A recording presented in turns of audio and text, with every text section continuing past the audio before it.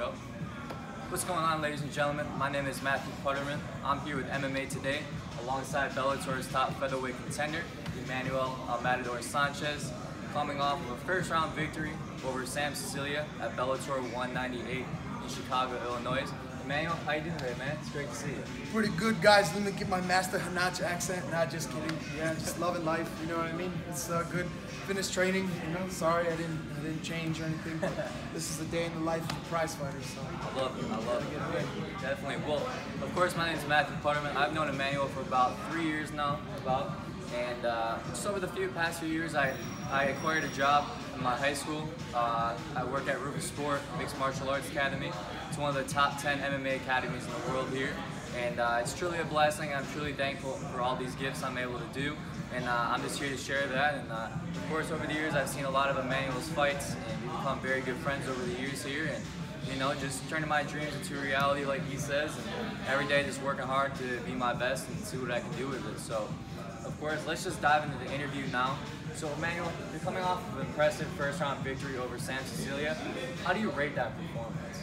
Pretty good. You know what I mean? I guess you could say 10 out of 10, but even for me, I guess 9 out of 10. You know what I mean? I, I don't know. Just for myself, I, I feel like I can always finish faster, do better, be faster. You know, rewatching the fight, it's kind of like hard to when you when you look at it. You know what I mean? You rewatch it. It's, it's pretty quick still, yeah. but like I don't know. I think it's because I, it's like so bittersweet because in the past you've seen a lot of fights go the distance, and it's been a while since I finished a fight that fast. So the fact that you know I got it in, got it out, and that was it, I was like, oh wow. I, I don't know. I guess just the fact that I trained for so long and got so ready for someone, and then just put them out that fast, it was just uh, you know it's to me I guess pretty impressive. You're right. I guess I'm sorry to say it's pretty impressive. It's pretty. Uh, it, it itself is just uh, outstanding, outstanding performance. You know what I mean? Uh, whether by knockout, TKO, submission, I knew I wanted to win. A lot of people were banking, and you know, I'm sure I don't tune in too much of opinions and ratings or whatever, but a lot of people were probably banking that I, I would win by split decision or unanimous or majority. Who knows? It's just decision. They thought I would win by that, but. I went out and I took care of business first round, so that felt good to get that back into the win column like that. Definitely. Well, do you think this puts you as the number one contender to fight for the title? Of course, you fought a lot of the guys like Justin Lawrence. Uh, you finished Daniel Straus, the former champion. Do you think this puts you in line as the next contender? Um, yeah, absolutely. I think even my last one did. You know what I mean? Uh, finishing the former two-time champion. The only men he lost to in Bellator is Pat Curran and Patricio Pitbull. Yeah. You know what I mean? No one else has beat him or come close you know, and uh, two-time champion, and the fact that he's been a, uh, you know a mainstay in Bellator for so long, and the fact that he's got such a name, and probably even more you know, fights and wins in Bellator than I have professional fights. You know, somewhere at least close to that. You know, and both Pitbull and Curran are the, the, same, just like Daniel. So those guys are kind of been the poster boys for the featherweight division and have been for the past, you know, since Bellator started. Yeah. And now, you know, we got new uh, we got new ownership. Bellator's got a whole new face, a whole new outlook, and I love it, man. I love being a part of Bellator. I love what they're doing, and I think it's time for the Matadors era. It's time for a new king to, to reign supreme, and uh, I want to go out and take them all out. I love it. Well, they already so Bellator booked the rematch between Daniel Weichel and Pitbull in July. Uh, they'll be fighting in Rome too. Are you gonna stay ready just in case you want to jump in? If Daniel would knock on wood, if you would get injured, would, are you gonna be ready to step in the face Pitbull? Yeah, absolutely. You know, you see me training right now. You know what I mean? Run this morning, and uh, you know, continue to train throughout the day. So this is my this is my my job, my livelihood. You know what I mean? They say when you when you do something that you love and it's your passion, you never work a day in your life. So, you know, it is physically taxing. It's, it's brutal, it's grimy, it's hard on the body and the mind, you know, but I love it. I wouldn't have it any other way. It's much better than doing anything else that I was doing in my life before or that I needed to do to provide for myself. And this is what provides for me. This is my livelihood, my financial freedom, my everything relies on this. So uh, yeah, all my eggs will be in this one basket to be able to go out and do great things, be a be a champion, and be a legend. Definitely. Well, there's a lot of the guys in your division, like Aaron Pico, just had another first round knockout. Uh, of course, you got a lot of those other guys. What do you like, AJ McKee as well? Do you think they're on your radar? I know they're younger guys, they're up and coming. Um, even James Gallagher too, coming off of another submission victory over um, Lyoto Machida's little brother as well. Do you think they're on your radar at all, or do you think they're years behind you? Uh, I believe years behind me. You know what I mean? This coming year, right now, at the end of October, I mean, at the end, but October, it'll be my four-year tenure. You know what I mean, being with Bellator, and none of those guys, I'm not knocking them. You know what I mean? They're great. They've won. They're undefeated or whatever, doing other things. You know what I mean? Good for them. You know, I'll, I'm watching whatever. Like they're doing good, but it to me, it's impressive. Great, you're finishing whatever. You know what I mean? But in my third fight in Bellator, I, fa- I faced Pat Curran. You know, my, my third fight, my third fight in Bellator, fa- facing Pat Curran on short notice, two week notice. Now, out of any of those kids, you know, I'll just say kids because I'll say more experienced as an adult in my fight life, maybe not as you know my age wise, but my fight life, my fight mileage. None of none of these guys, you know, have done what I've done and faced what I faced. There's only one guy that I'll give credit and like you know applaud is Henry Corrales. You know what I mean? Making his debut against the former champion Daniel Straus, and then taking Pitbull on short notice. You know him too was like two week notice, and you know and then facing myself, and now he's faced other tough, tough top guys. But uh, you know anyone else? No man. You know like really, let's just put it as that. Who has faced the former two-time champion Pat Curran on two weeks notice? You know what I mean? And then taking another one. Uh, you know, on short notice right after that against Henry, against Justin, and then uh, top UFC fighters. You know what I mean? Guys that have been successful in the UFC. Obviously, they get you know got let go, but they still found success and were still a name. You know, whether it be from the Ultimate Fighter or at the time when they were there. You know what I mean? They were doing good in the UFC. So. Guys from the UFC, guys Bellator mainstays, former champions, top contenders. Who else has faced? Who I've faced, beat, who I've beat, done what I've done? No one. So yeah, you know what I mean? None of those guys are on my radar until they face someone like Curran or Straus or Pitbull or Weichel. Uh, the, the names go on and on and on. The, you know, I mean, numbers and rankings and wins and whatever, it doesn't matter. But those big top dogs, you know what I mean, is what matters. So until they face someone like that, then we can talk. You know I mean? Then we're like, all right, you face me. But other than that, no, we're not even. We're in two different galaxies right now, completely different dimensions. Definitely. Well, as you saw the UFC, there's a big announcement, especially with Yair Rodriguez. Uh, of course, he turned down two fights, one against Ricardo Lamas and then one against Zabit, and they released him. Do you think if Bellator would sign Yair Rodriguez, would you like to fight him, or would you like would you like to welcome him into the Bellator, or would you like to fight for the title first, then maybe defend your title against Yair?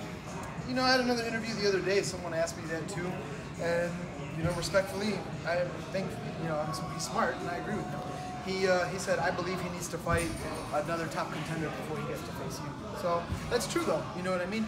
Well, okay, yeah, you get Lorenz Larkin, of course. He was a former Strikeforce guy though, so you know he's been cool with Coker before, and you know made his name in Strikeforce before he got to the UFC, and now he went back to Bellator. which Coker owns now, and you know, they gave him a title shot right away, but it, it, you know, it made sense. And then he's fighting top guys, you know what I mean, which still makes sense, which a lot of guys did get, you know, like Rory coming over as well too, and you know all these other top guys. But I believe, uh, you know, he's coming off a loss, so yeah, he does need to get a win first before he can face someone like myself.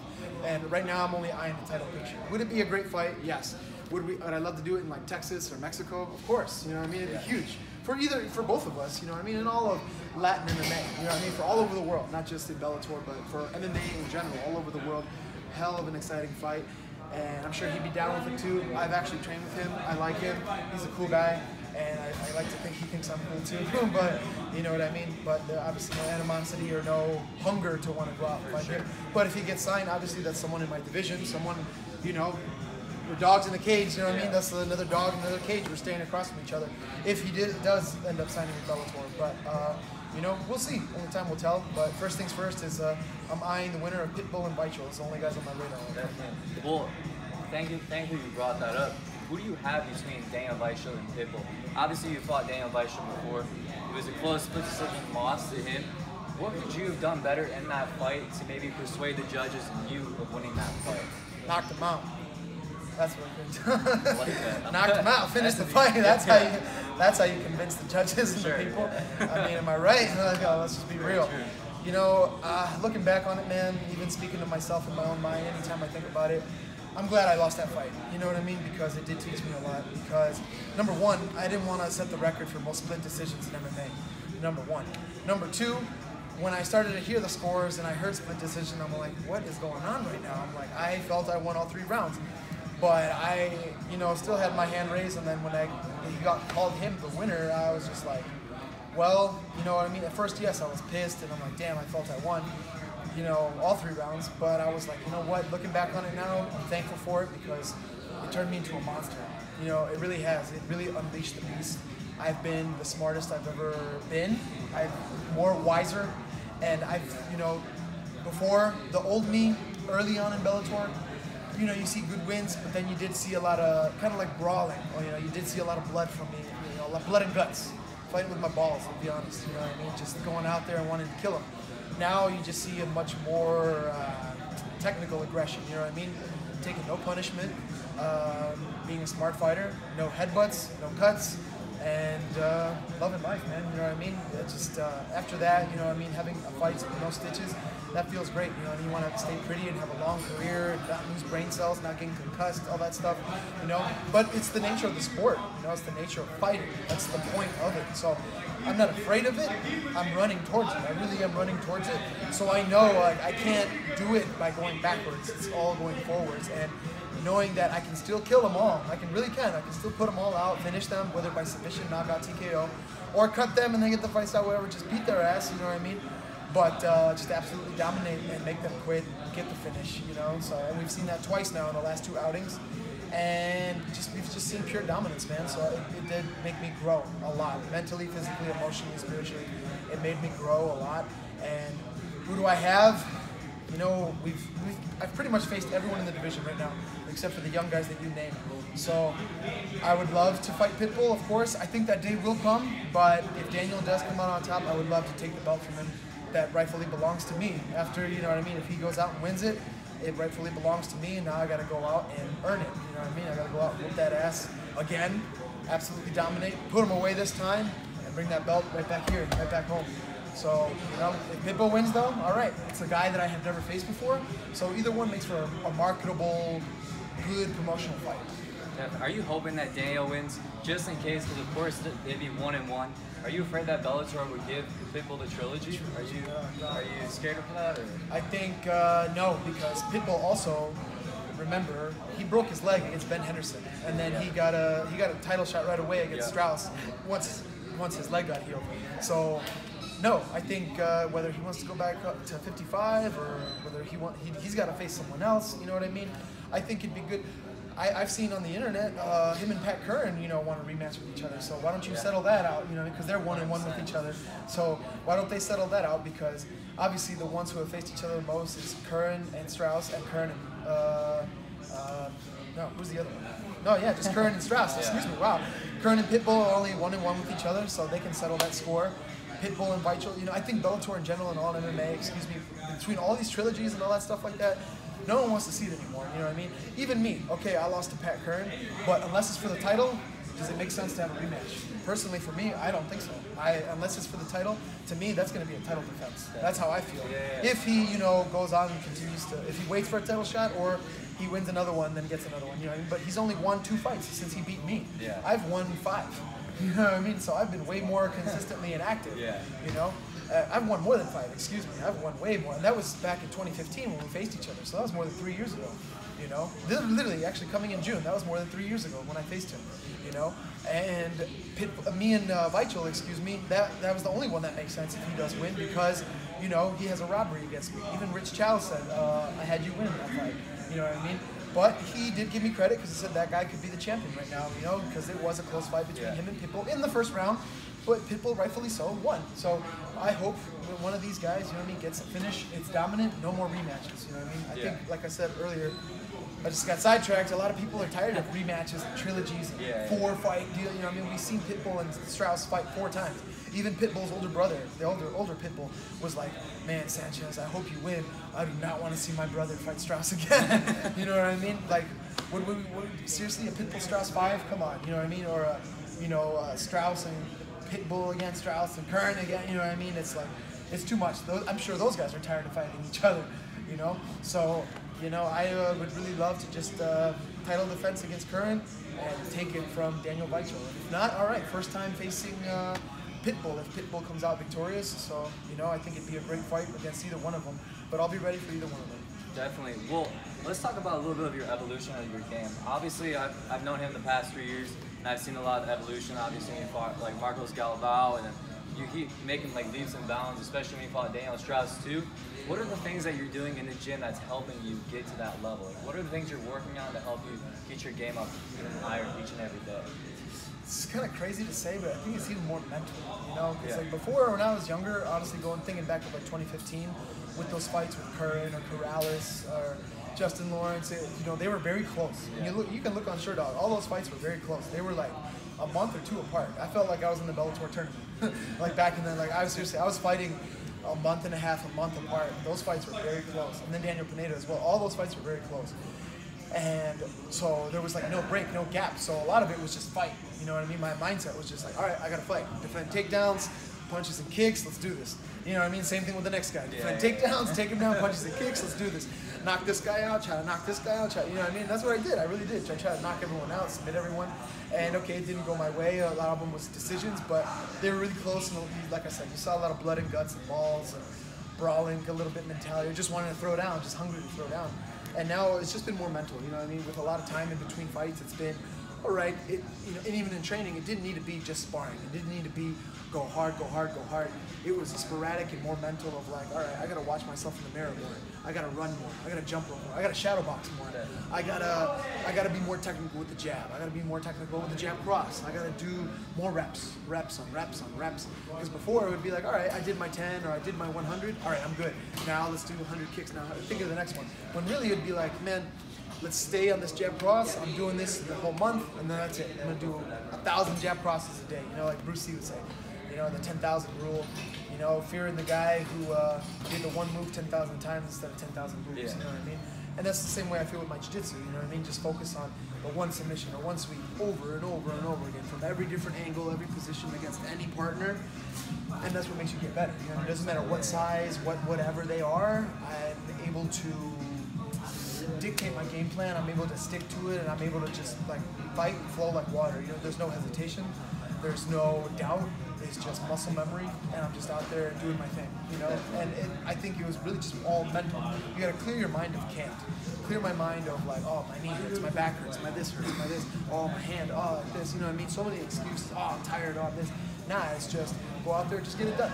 Don't listen to my body. Don't listen to this. Of course, I got bills to pay. Of course, I got to take care of my daughter. I gotta take care of this. I gotta take care of that. All that stresses and all that other stuff doesn't matter.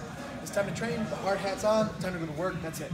Thinking of work. Once I leave here, all right, we'll focus on everything else after Yeah. that. But first things first is take care of what I need to take care of. Being a martial artist. Definitely. Well, before it was like, all right, oh, uh, I'm a fighter, so I gotta do fight stuff. I gotta do this. I gotta do that. Martial artist. Calm the mind, calm the mind, calm the body, flow, get it right, and then also be more of an athlete. Because I'm not naturally fast. I'm not naturally strong. I, I, I am blessed with a great gas tank, but I, I don't have any natural athleticism. So by making myself faster, making myself stronger mentally, doing those things for when I do it in wrestling or do it in jiu-jitsu, do it in striking, it's showing in fights. So it's definitely it's all mental. Yeah, definitely, man. Well, this is Matt with MMA Today. I'm gonna be getting a lot of interviews over the next few weeks here. I'm gonna probably do one per week. And uh, thank you, Emmanuel. Would you like to shout out any sponsors, anything like that? Roufusport Mixed Martial Arts Academy right here. You know what I mean? Uh, Combat is not around, but you can see it. Combat Corner. Uh, shout out to all the people: Iowa Bison, Freshman, Pokey, Cryo Fit Milwaukee, Brookfield, Chiropractic. Uh, thank you guys so much. The Wisconsin Athletic Club. We appreciate you guys very much. McBride Mats. This whole gym is covered in McBride Mats and Combat Corner gear. You guys supply the best gear, and it takes a village to raise a fighter. You know, I couldn't do, do it with any, without any of you guys. You know I mean? It really provides for me the grip, mouth guards, diamond MMA cups. It really taking care of me. With every little thing that I got, I got nothing to worry about. So that's really great. Because a lot of people in MMA, sponsors think it's all just about, oh, Bud Light, give me money. This guy, give me money. Monster, give me money. Money, money, money. Which is great if that supplies your training needs. But if your training needs are already supplied, combat corner, grip, mouth guards, dominant MMA, food, all whatever, need, then I'm like, all right, then I get to keep my fight purses and don't need to spend it on anything else. I can just take care of whatever else I need, you know? So it's, I'm very great and very thankful that I have Duke Roufus, Scott Cushman, Joe Nichols, Justin Lemke, my Brazilian Jiu-Jitsu coach, Daniel Vanderlei, and other great guys here to help me out, top level guys in the UFC, Bellator, World Series, wherever, you know what I mean? Guys fighting all over the world. My man Mike Biggie Rhodes fighting out there in uh, what was it, ACB, Yeah. going out there in Nottingham, England. I'm so proud and happy for him. And uh, he's going to come back victorious, doing it for the USA. So, and all my guys coming up right now, too. You know what I mean? Going into LFA, going into Contender Series, going into uh, what, what what other FA that we got? The LFA, LFC, the oh, AFC, yeah. KFC, UFC, BFC, whatever. You know what I mean? So all these guys shining all over at the top right there. I really appreciate them. These guys right here, they're grinding with me every single day, and we're making it to the top together. So appreciate everyone in my team. Definitely. Well, this is Matt signing out with MMA today. Thank you so much, and tune in next week for another interview, and uh, we'll get it going for sure. Have a great day.